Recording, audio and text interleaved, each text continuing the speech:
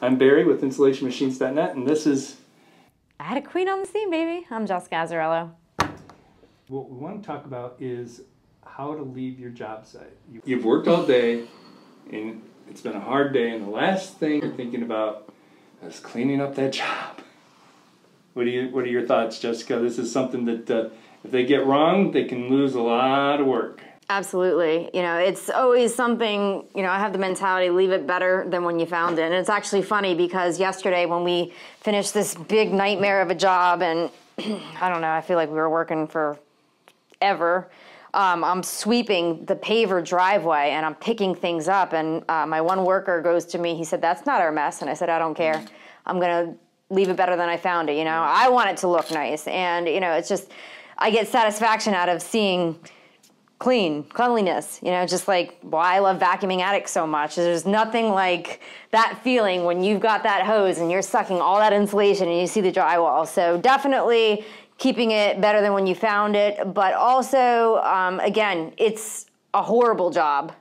And it's hard as it is just performing the job. So, uh, my tip is to clean as you go. Yeah. You know, especially, you know, people have different duties. You've got one ground person, you've got an attic person.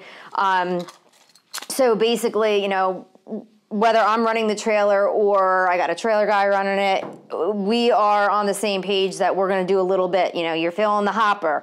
Okay, let me make sure that we're putting the plastic bags in a garbage bag. Let me let me sweep. Let me kind of keep things in a pile. So it's you know being cognizant of your surroundings at all times and making sure you don't let things get out of control because that's how you are going to leave sloppy job sites when you're tired and you don't want to do anything you're like uh, or they won't see it it's like it, it's not that bad at that point if you're maintaining as you go right the importance of this cannot be understated because builders uh, demand that uh, their jobs are clean and if you leave a job site that it's not clean you, you might lose a builder over it i've heard of that happening the homeowners will talk on facebook uh, man, they did a sloppy job. They're not looking in the attic to see what you actually did. They're going to just see what you left.